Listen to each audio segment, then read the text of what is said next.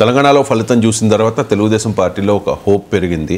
కేసీఆర్కు పట్టిన గతే జగన్కు పట్టడం ఖాయమని చెప్పి తెలుగుదేశం పార్టీ నాయకులు పదే పదే చెప్తూ ఉన్నారు. తెలంగాణలో ప్రభుత్వం మారింది కాబట్టి ఆంధ్రప్రదేశ్లో కూడా మారవచ్చు అనుకోవడంలో ఎంతవరకు కరెక్ట్ రెండు వేల పద్దెనిమిదిలో ఆంధ్రప్రదేశ్లో మారింది. తెలంగాణ మారలేదు.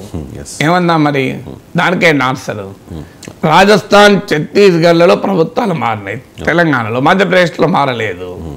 దానికి ఏ సమాధానం చెప్తాం అందువల్ల రాజకీయాలు ఒకే రకంగా ఉంటాయి అనుకుంటే పొరపాటు. సో రాష్ట్రాలు వేరు రాజకీయ పరిస్థితులు వేరు.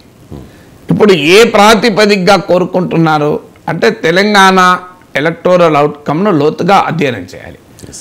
మొదటి ఫ్యాక్టర్ ఏంటంటే ఇక్కడ దోదం చేసింది ప్రభుత్వం పట్ల ఒక అసంతృప్తి క్లియర్గా కనబడ్డది. కొన్ని వర్గాల్లో ముఖ్యంగా యూత్లో సో లోయర్ అండ్ మిడిల్ క్లాసెస్లో బాగా వ్యతిరేకత కనబడ్డది. గ్రామీణ ప్రాంతం గ్రామీణ ప్రాంతాల్లో వ్యతిరేకత కనబడ్డది.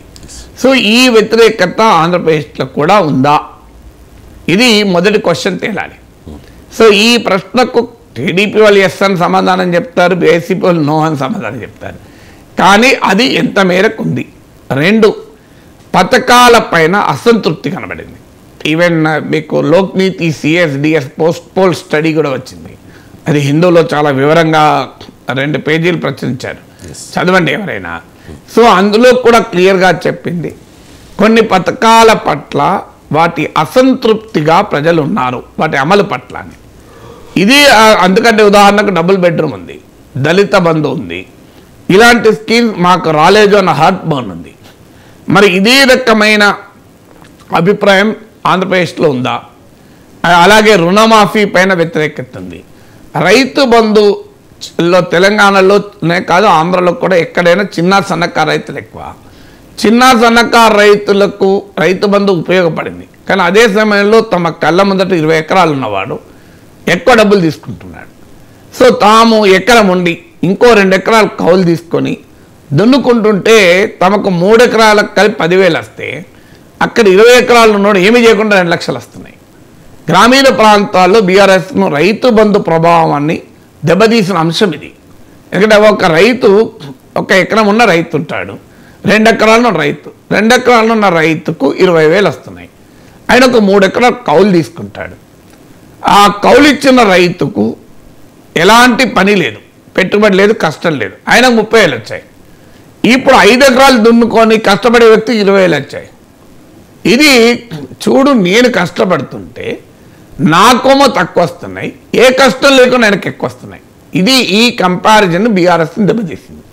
సో ఇలాంటి సమస్య ఆంధ్రప్రదేశ్లో లేదు. సో ఆంధ్రప్రదేశ్లో ఉందా? ఇదొక సమస్య. సో ఇలా అనేక ఫ్యాక్టర్స్ సోషల్ షిఫ్ట్స్ కొన్ని సామాజిక వర్గాల్లో కాంగ్రెస్ షిఫ్ట్ అయింది. ఉదాహరణకు మనందరికీ తెలుసు ముస్లిం ఓటు బీఆర్ఎస్ నుంచి గణనీయంగా కాంగ్రెస్ కొంత షిఫ్ట్ అయింది. అది అన్ని సర్వేలు ఆ విషయం చెప్తున్నాయి. కొన్ని సర్వేల్లో బీఆర్ఎస్ ఆధిక్యత అని చెప్పినా బట్ స్టిల్ అన్ని పోస్ట్ పోల్ సర్వేలకు కూడా ముస్లిం ఓటు కాంగ్రెస్ కొంత షిఫ్ట్ అయిందని అంగీకరిస్తున్నారు. అలాగే లంబాడీ తెలంగాణలో గణనీయమైన సెక్షన్.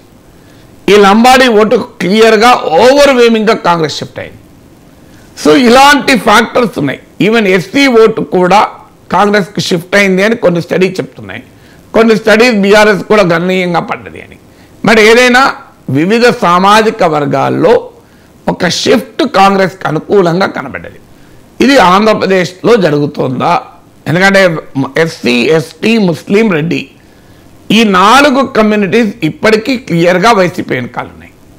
సో మరి ఆ సామాజిక షిఫ్ట్ జరగకుండా అంటే ఏదో ఒక వర్గం ప్రభుత్వానికి వ్యతిరేకంగా మరలకుండా ఫలితాలు మారవు.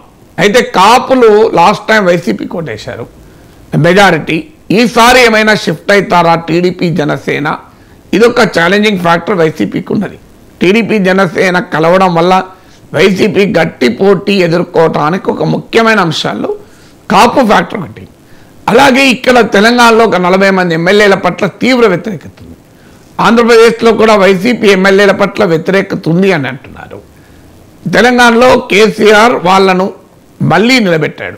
మరి అదే వ్యూహం జగన్ చేస్తాడా? ఇప్పటికే కొంతమందికి నీకు ఎమ్మెల్యే టికెట్ ఇవ్వను అని చెప్పితే వాళ్ళు ఆల్రెడీ పార్టీని వీడి టీడీపీలో చేరిన ఉదాహరణలు కూడా ఉన్నాయి. క్లియర్గా వాళ్ళకి ఇండికేషన్ ఇచ్చాడు జగన్. ఈవెన్ ఎమ్మెల్సీ ఎన్నికల్లో కూడా ఇండికేషన్ ఇచ్చారు. క్రాస్ ఓటింగ్ చేసినా మంచిది అని. అని కూడా మన వార్తల్లో చూసాం సో మీకు ఉండవల్లి ఎమ్మెల్యేకి ఇవ్వమన్నాడు. నేను మీకు ఇలా కొంతమంది ఎమ్మెల్యేలకు ఇవ్వనన్నాడు అని చెప్పి మనకు వార్తల్లో వచ్చింది. సో ఆయన ఎమ్మెల్యేలు మారిస్తే ఎలా ఉంటుంది? తర్వాత పార్టీ యంత్రాంగం పట్ల తీవ్రమైన వ్యతిరేకత ప్రజల్లో వ్యక్తమైంది. గ్రామ స్థాయిలో కూడా. మరి అదే వ్యతిరేకత ఇక్కడ కూడా ఉందా? ఇలాంటి అనేక ఫ్యాక్టర్స్ను బట్టి మనం ఎనాలి ఎనాలిసిస్ చేయాలి. అయినా ఇంకా ఎన్నికలు ఉన్నాయి. ఎవరైనా తెలంగాణలో డిసెంబర్లో ఎన్నికలు జరుగుతున్న సమయంలో జూలైలోనో జూన్లోనో ఊహించారా కాంగ్రెస్కి ఇంత ఊపొస్తుంది కాంగ్రెస్ అధికారంలోకి వస్తుందని ఎవరైనా అప్పుడు ఊహించారా? అలాంటిది ఇప్పుడు కూడా అంతే కదా. అదే మూడు నాలుగు నెలల్లో తెలంగాణలో రాజకీయ గాలి అంత వేగంగా మారితే ఆంధ్రప్రదేశ్లో ఎటు మారుతుందో ఎవరు చెప్పగలం?